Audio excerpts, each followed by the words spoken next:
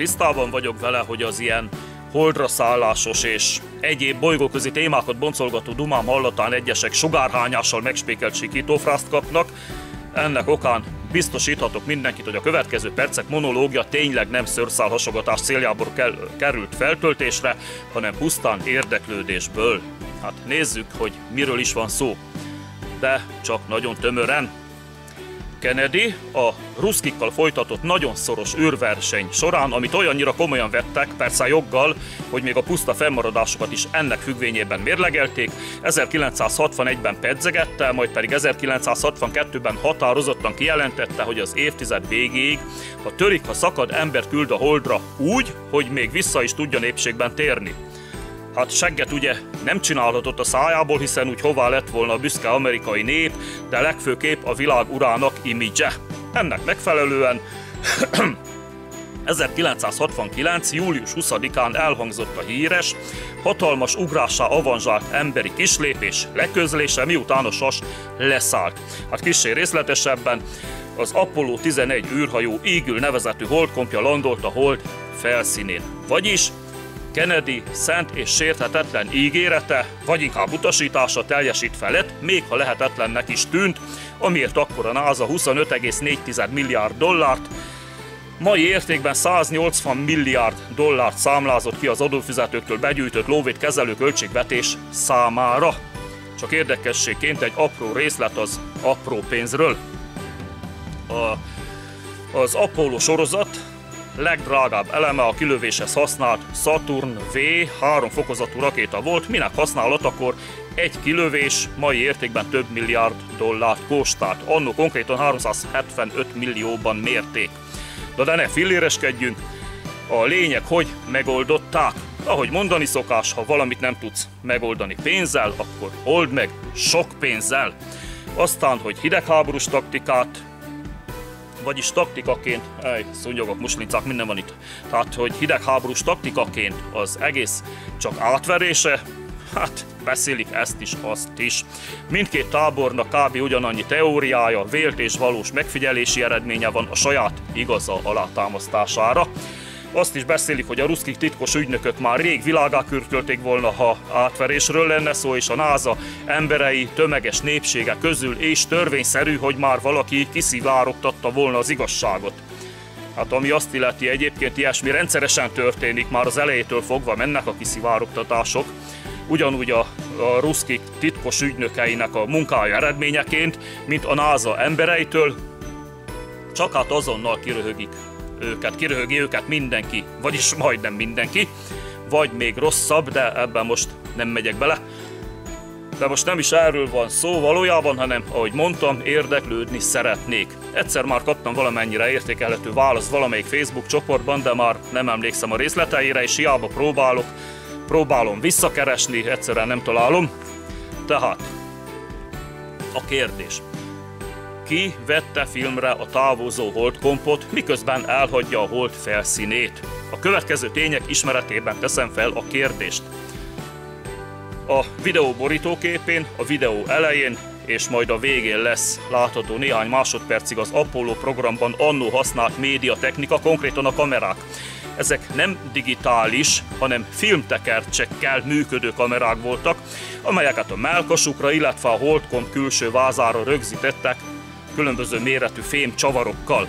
Viszont, mivel több kilós, akár súlyzónak is beillő elektronikáról van szó, egy ilyen kiruccanásnál pedig minden gram számított, ezeket a kamerákat egytől egyig a holdon hagyták, miután kiszedték belőlük a filmet, hogy a súlyuk ellenében, ugye kamerák súlya ellenében inkább több holdközetet hozhassanak vissza a földre. Az Apollo 11-től 17-ig programra így összesen 14 kamerát használtak el, de egyedül csak a képekkel látható világosabb szürke kamera került vissza a földre. Hát ő úgy lett ilyen szerencsés, szerencsés visszakerülő, hogy valami kütyű éppen eltört a nyitó szerkezetében, nem tudták úgy kinyitni, hogy biztonságban kivegyék belőle a filmtekercset, ezért inkább kamerával együtt hozták vissza az értékes filmanyagot, hogy itthon szedjék ki belőle teljes biztonságban. biztonságban. Még egyszer mondom, ezek nem digitális vagy robotikával működő kamerák voltak, hanem csavarokkal, szkafanderre, külső vázra rögzített több kilós kamerák. Egyébként ezt az egyetlen szerencsés visszatérőt állítólag, ezt most csak érdekességén megemlítem, eladta 2014 mikor is március 22-én egy bécsi aukción állítólag, valahol 200 ezer euró környékén. Na de ne kanyarodjuk el a témától, hajlandós vagyok a csapongásra. Tehát tudjuk, milyen híradás technikai eszközöket használtak. Azt is tudjuk, hogy maga az esemény olyan fajsúlyú, hogy az már szinte szent és sérthetetlen. Vagyis, ha egy hivatalos hírcsatorna, vagy akár maga a NASA tesz közzé a 8 napos, 8 napos kirándulásról, ami minden idők legnagyobb pénzkészletét emésztette fel, egy ilyen zanzásított, rövid filmformációt, akkor valószínűsíthető, hogy nem fogja hollywoodi látványtervezők és operatőrök kozmetikázó segítségét kérni, hogy kissé feljavítsa a közönség számára, aztán ezzel esetleg megkockáztassák a hiteltelenséget, mert ugye mindig vannak éles szemű nézők, tehát ilyen kockázatot biztos, hogy nem vállalnának fel. Tehát ha egy jetit mutogatunk vagy mutatunk be délután kettőkor a piactéren, azt sem fogjuk plusz álszakállal ellátni, hogy még szörösebb legyen, hiszen ő maga a Yeti. Nem kell még Yetibbé tenni, tehát kockáztatni, hogy a széle fúj az álszakállat, azt, aztán mondják, hogy fú, hát hisz ez kamu Yeti. Tehát ilyenre nincs szükség. A Yetit nem kell még Yetibbé tenni.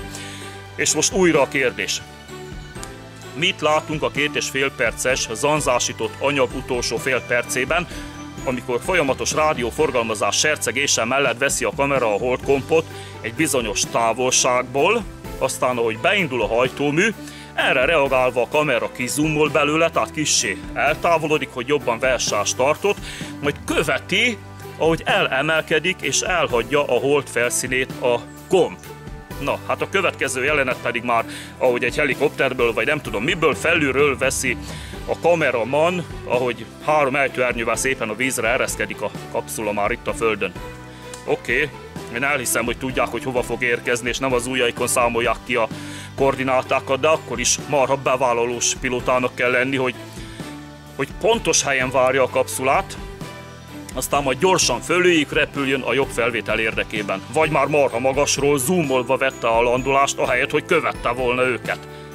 Hát, ez van, mindent a látványért, de nem is ez érdekel, tehát ez nem is érdekel. A lényeg az, az érdekel, és nagyon köszönök minden értékelhető választ vagy linket a komment szekcióba arról, hogy ki vagy milyen technika vette fel a távozó holdkompot a tízes csavarokkal rögzítendő filmtekercses kamerák idejében.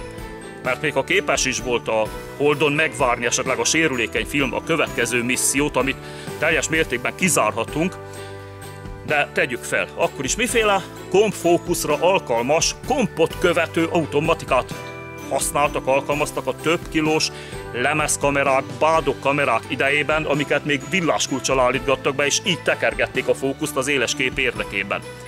Milyen technika lehetett az? Tehát űrhajós biztos, hogy nem hagytak ott. Na mindegy, lehet sokáig habosítani a taknyot, ez a kérdés csupán, hogy ki milyen kamerával, vagy egyáltalán hogy került felvételre a távozó holdkomp látványa. Na, mindegy. Talán egyszer fény derül rá. Jogdíjköveteléseket megelőzendő, nem vágtam be ide a két és fél perces videót, a linkjét viszont megtaláljátok a leírásban. A hitelt érdemlő válaszokat pedig előre is köszönöm. Sziasztok!